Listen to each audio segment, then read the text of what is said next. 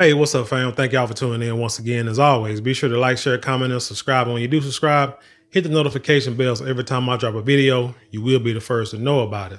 So it seems like Kamala Harris has run afoul of a sheriff in California for using his likeness in an ad that he does not approve of. Matter of fact, he doesn't approve of your vice president. But let's go ahead and get into the story.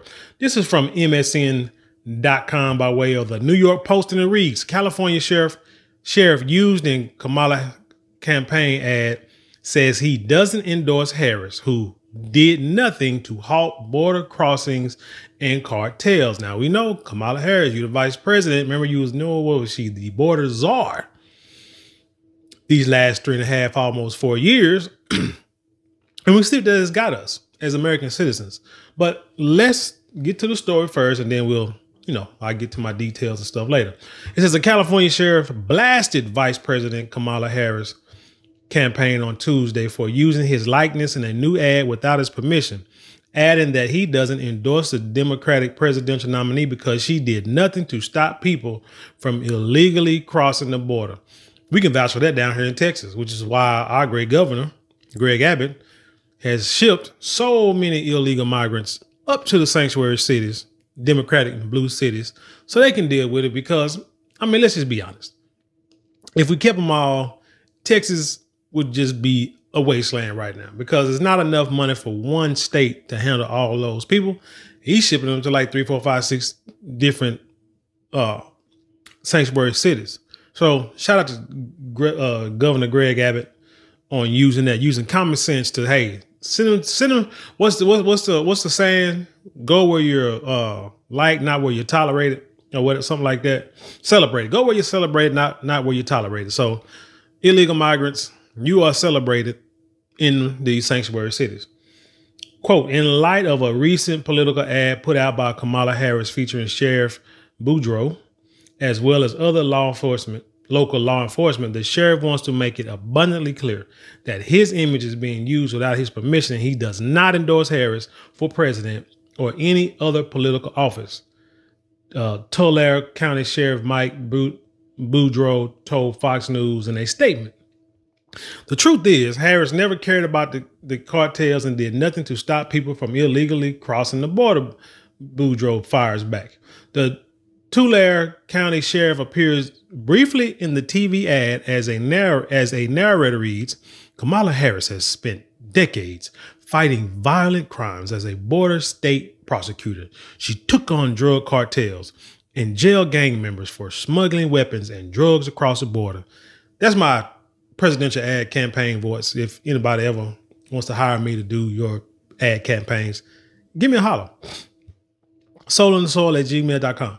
A spokes a spokeswoman for the Tulare Sheriff County's office confirmed the statement to the Post before adding, Sheriff Boudreaux vehemently opposes the use of his image in a political ad promoting Kamala Harris. Boudreaux, who served in the county, who's who served in the county's law enforcement office for nearly 40 years, said that said that claim was misleading and that Harris's appearance alongside him and other law enforcement officials when she was serving as California Attorney General was smoke and mirrors. The ad shows her brief trip to the Central Valley in 2014. That's 10 years ago. So you do an ad and it's based on what you did, well, where you were and what you were doing 10 years ago. 10 years ago, some things I thought differently on some things that I do now. I'm just saying that people evolve, revolve over time. So I'm just wondering, like, why you use something that was 10 years ago, but I think you try to deceive the people as to thinking it may be something more recent, and it's not. Uh, Joe, uh, the ad shows a brief trip to, uh, like I said, the Central Valley in 2014, touting a year-long investigation into a multinational drug operation with ties to Mexican drug cartels and prison gangs. He noted. Later, the narrator also promised will hire thousands more border agents, and crack down on fentanyl and human trafficking, which Boudreaux said completely makes us mad.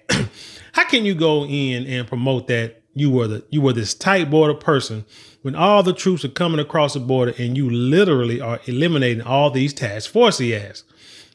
Tulare County District Attorney Tim Ward, who is included in the footage too, also slammed Harris and told Fox News her hypocrisy knows no boundaries. Hey, there's a whole big hype right now with Kamala Harris running for president. We know it. It could get some people maybe afraid, nervous, or what have you.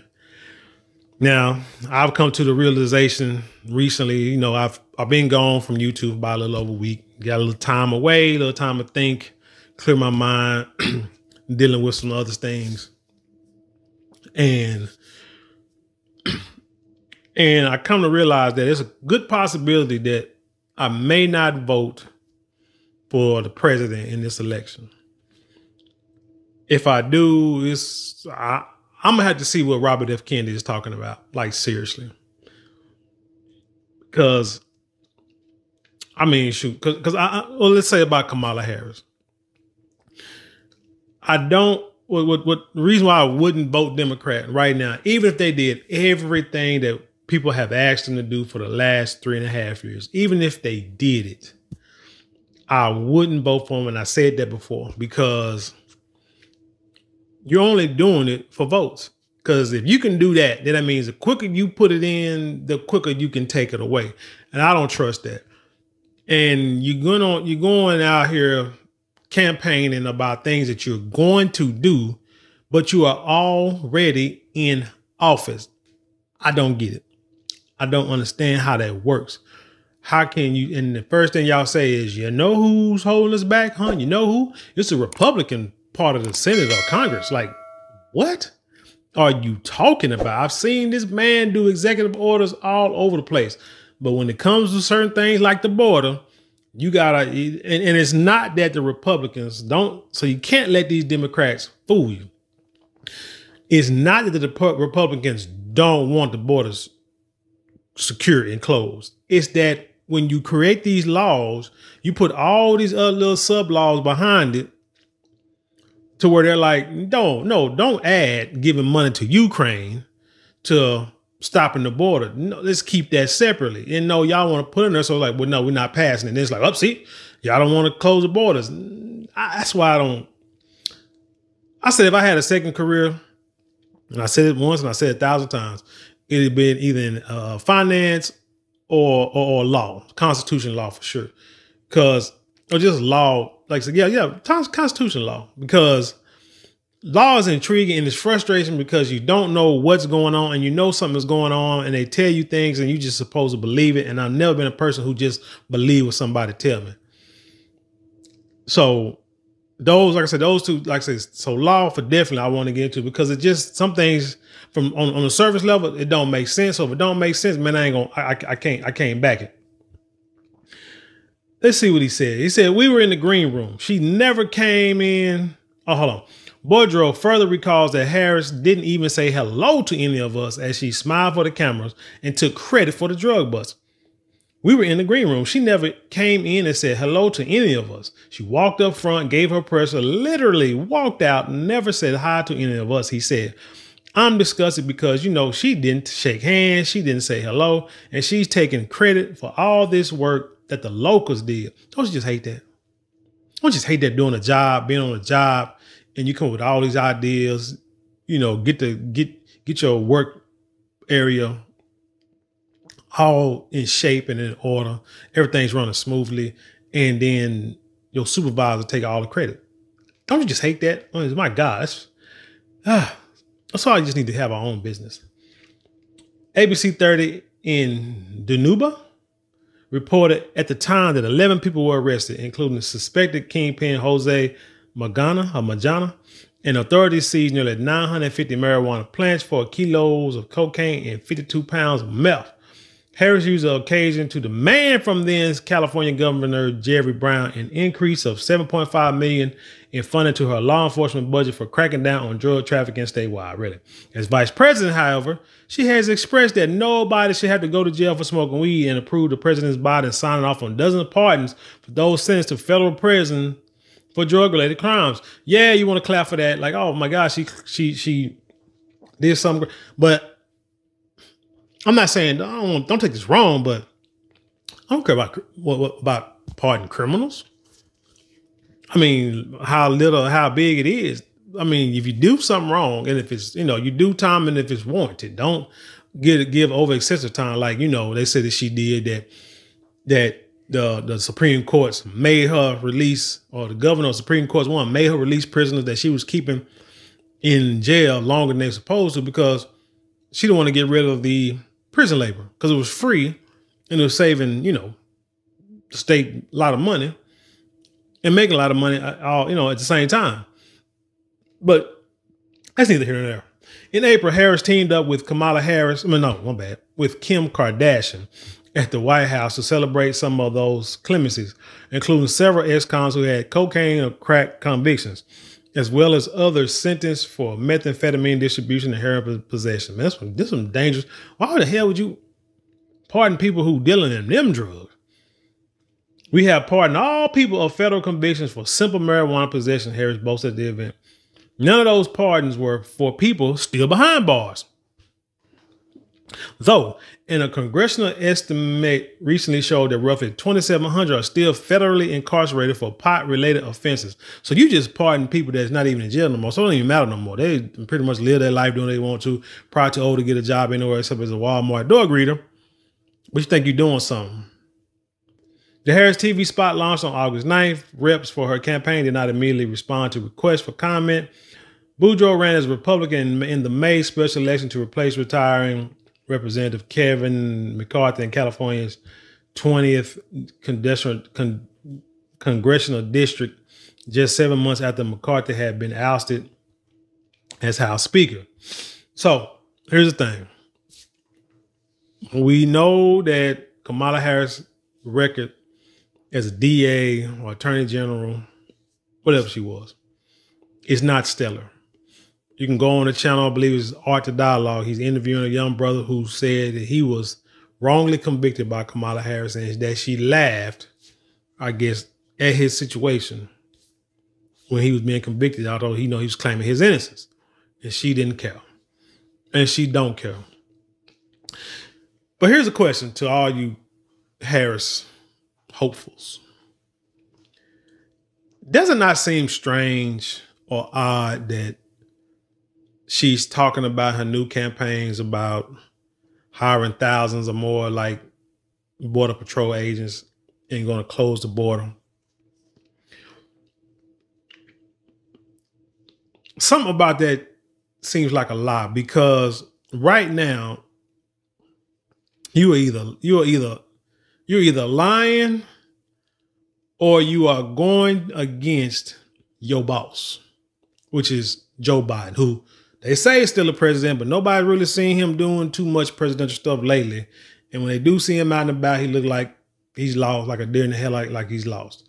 Which I'm quite sure his mind, if his mind wasn't gone before this campaign, is definitely going now because he got all these people at him you know, telling him to, you know, drop out of the race. Probably some of his closest friends, families telling him to do something he didn't want to do. He probably feel betrayed. And a lot of times people don't understand, man, stress and stuff that go in your mind, man, it, it, it weighs on you and, and, and it affects you to the point that you might start losing cognition, especially at that age.